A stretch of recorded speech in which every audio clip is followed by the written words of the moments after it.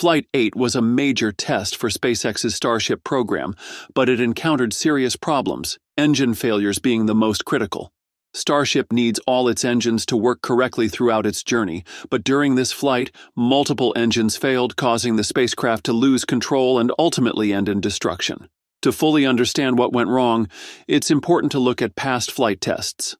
In Flight 7, a pressure buildup in the ship's attic compartment led to fuel leaks and engine malfunctions. SpaceX made design changes after that flight, but Flight 8 still suffered from engine failures, showing that more improvements were necessary.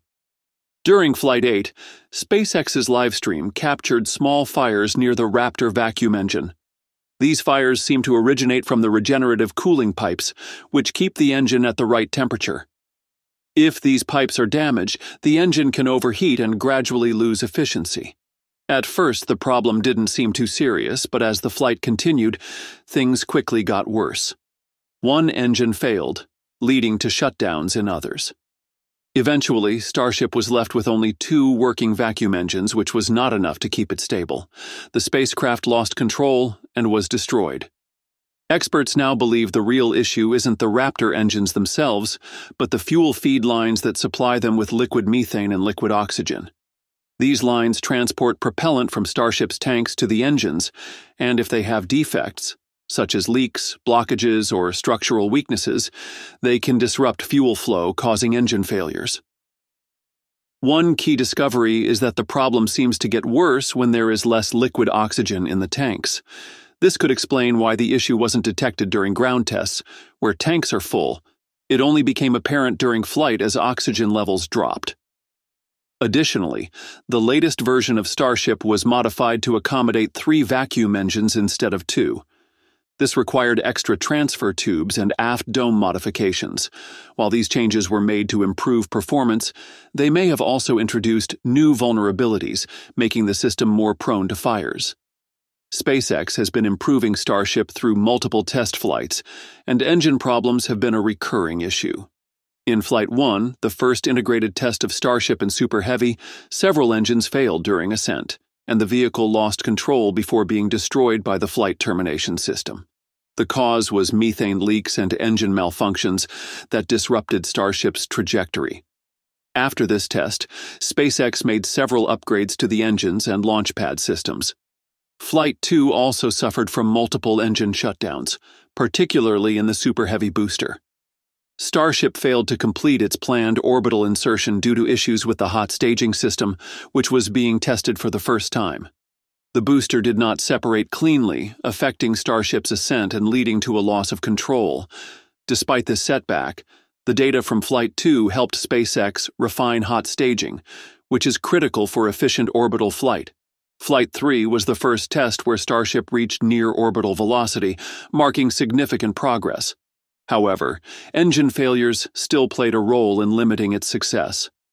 Multiple Raptors shut down during ascent, and although the vehicle achieved re entry, the heat shield suffered extensive damage, causing the ship to be lost before splashdown. This demonstrated that engine reliability and structural resilience were still key challenges. Flight 4 aimed to fix issues from previous tests, but engine shutdowns and fuel system problems were still evident.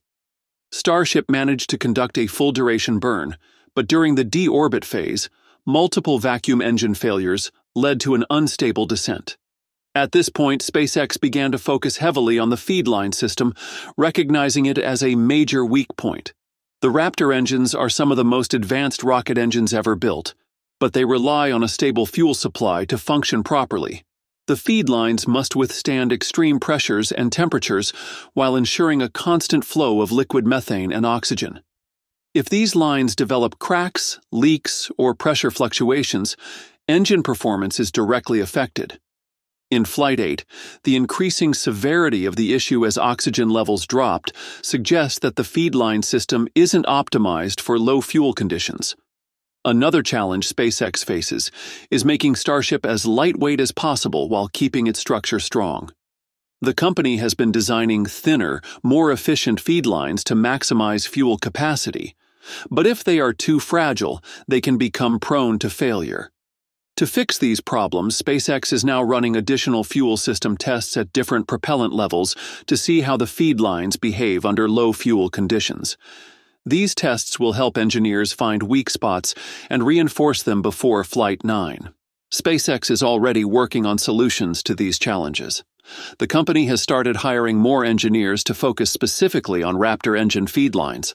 Their job will be to redesign and strengthen the system that delivers fuel to the engines, ensuring that it functions reliably in all phases of flight. In addition to improving the feed lines, SpaceX is making changes to Starship's aft dome and transfer tubes. These modifications aim to prevent leaks and reduce the risk of fire spread in case of an anomaly.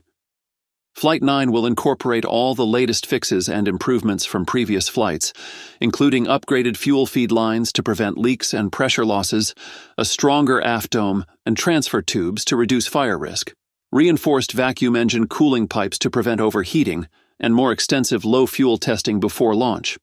If SpaceX succeeds, it will be a major step toward making Starship a fully reusable launch system capable of handling future deep space missions. Meanwhile, two NASA astronauts are stuck on the International Space Station due to problems with Boeing's Starliner spacecraft. The mission, which launched on June 5, 2024, was supposed to last only eight days, but technical issues have delayed their return for over a month. NASA and Boeing are still trying to determine if Starliner can safely bring them back, and there are discussions about using a SpaceX Crew Dragon spacecraft as a backup plan. The problems started after Starliner docked at the International Space Station.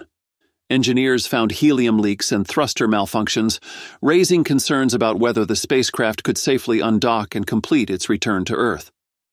Boeing has conducted multiple tests, including firing the thrusters in space, but there is still uncertainty about their reliability during reentry.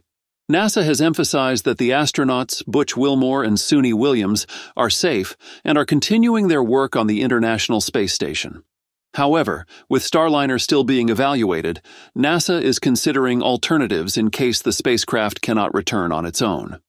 One option is to bring them back on SpaceX's Crew Dragon, which has successfully transported astronauts to and from the International Space Station multiple times. A possible rescue could happen during SpaceX's Crew 9 mission, scheduled to launch in mid August. NASA is reviewing whether extra seats could be added to Crew Dragon or if a separate mission would be needed.